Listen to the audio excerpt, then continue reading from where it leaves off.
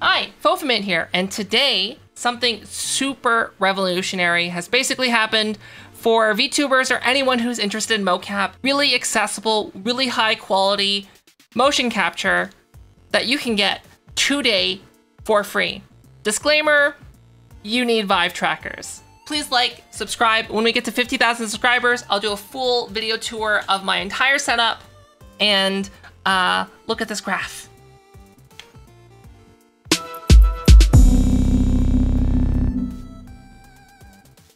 To get started, you are going to need a man. You're going to need to go to the Manus VR website. You can click on the link down in the video description down below, and you're going to be downloading the Manus Polygon program. You will have to register as a forewarning, and you're going to be downloading and installing it. In order to get the best tracking, you need to at least have six or up to eight Vive trackers uh, in order to uh, get full body tracking. If you'd like to see a, a, tracking alternative, and later in this video, I'm also going to do a, a, quick comparison between the two, you can check out my video on virtual motion capture, which is another alternative. And actually with that one, you can actually use minimum three trackers, but recommended uh, six or up to 10. So once you have all of your Vive trackers connected and turned on, this includes any other Vive trackers, whether you have one for props or things like that, you have to make sure that you have them all connected because otherwise I found that there's some weird problems when you turn them on afterwards in terms of like how it recognizes some things. Manus VR core tracker application. And then from there in the taskbar, you're gonna be right clicking and opening the dashboard. Once you have the dashboard open, you can go to you can go to the polygon tab. And then in the polygon tab, you should be able to see all of your Vive trackers kind of floating around in the background. One key thing to notice about your Vive trackers is that they will be color coded to make things easier to pair in the right place. And one by one, you are gonna be using the drop down menu to select a tracker for the appropriate place, whether it's your head, your hands, your feet, or your hips. And at this point, you might notice that the model might look a little bit cursed, but that's fine. You can also do the automatic calibration, but I find that that ca can cause some weird problems. So I don't recommend it. I recommend doing it manually like how I described earlier. This will be available in the Polygon tab when you click on the trackers, and you're gonna be adding your trackers there. Once you've added all of your trackers, it's time to fine tune and start the calibration. So you're gonna click on the user ID. It should look like user and some crazy numbers. And then you're gonna hit the calibrate button. So with the calibration, you need to have all the Vive trackers mounted to your body. Once again, you need to have six Vive trackers in order to do this. You, all you need to do is just make sure that you follow the instructions and, and just basically mirror the mannequin's motions. After each set of calibration, whether it's for your hands, your legs, your feet, or your head, or your hips, it will actually give you the opportunity to look and review just to make sure everything's working fine. At the end, you're gonna see um, a rough calibration uh, of how things are going to be. It might be good, it might not be perfect. In my case, it actually wasn't that great. So I actually had to do some fine tuning. So to do the fine tuning, what you can do is, um, once you finish the initial calibration, you can go into edit. And here in edit, you'll be able to calibrate um, different body lengths, different body sizes, and different ratios and, propor and proportions. Um, what I would recommend here is either to go based on your IRL measurements or just kind of fiddle with things until it tracks the way it should be. So just keep in mind about your arm, how your arm bends out as well as forward and like just take a close look at your leg and arm movements. Next, in order to get the motion data into Unreal Engine or Unity, um, if you want to see a tutorial on how to set this up specifically in Unity, uh, if we get to over a thousand likes on this video, I will do that.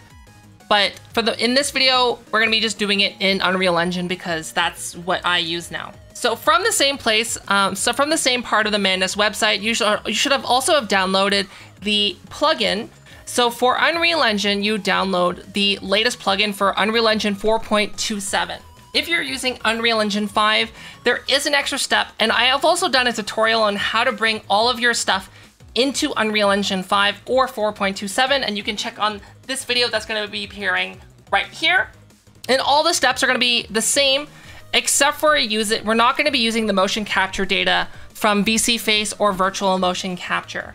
So when you add the plugin, you go into your plugin section and then you just click, you just extract the plugin into your plugin section, whether it's Unreal Engine 4.27 or Unreal Engine 5. If you're using Unreal Engine 5, then what you need to do is you should find the U plugin file, then right click, go to edit. You can edit with um, either Visual Studio or a notepad, and then just change the launcher version from 4.27 to 5.0.0 and then launch. So once you open Unreal Engine in your content browser, you're gonna go to the settings option and you're gonna see the ability to, um, to be able to show engine and plugin content. So you're gonna make sure that you do that. Then in the side menu, you're gonna look for the Manus folder. You're gonna be navigating to the blueprints and you're gonna be looking for the Blueprint Manus Polygon Pawn. You're gonna be clicking and dragging that into your scene. If you're unable to see this, then you need to go to Edit and then scroll down to Manus and make sure that it's activated. If it's still not working in your engine and plugins, make sure that you enable LiveLink, LiveLink Control Rig, and LiveLink XR if you have LiveLink XR as an option. Now, once your player pawn is in there and you drag it into the scene, you should have um, a version of the default Unreal Engine mannequin. Press play and see if everything is working. Your motion capture should now be working. So this is fine and dandy, but what if you want to make it so that it motion captures for your own model? If you want to do this in the outliner, click on the blueprint for the Manus VR pawn. And then from there, click on the static mesh asset that is also on the Manus VR pawn. In there, you're gonna see the uh, Manus VR section. You're gonna click on that. And you, here you're gonna have a couple options. Just for the sake of getting everything up and running, we're actually just gonna use the default pawn. In the Manus VR section, you're gonna see the Manus VR um, skeleton as the Manus VR um, default version. So just double click on the icon and it's gonna bring up a new menu. Here you can change out the skeletal mesh. Once you change out the skeletal mesh, you're gonna have to manually, you can either automatically, but I also recommend manually checking or assigning the bones to the ap appropriate location, just like I did on my screen. Next, for your own model, you wanna make sure that you have a animation blueprint.